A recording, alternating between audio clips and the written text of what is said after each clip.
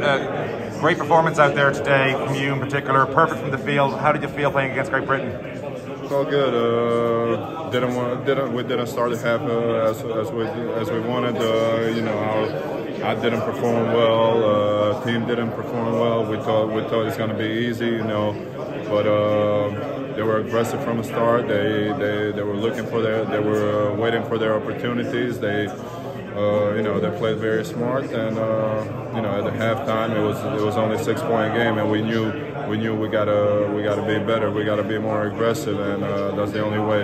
After that, the quality showed, the talent won, and uh, you know, but that's that's how it is. Everyone can play basketball. We got to be the most most aggressive team on the floor. We got to bring the bring our own energy, uh, especially in these early games, and that's the way we can win. And obviously, you've had two games now you've had two great second halves.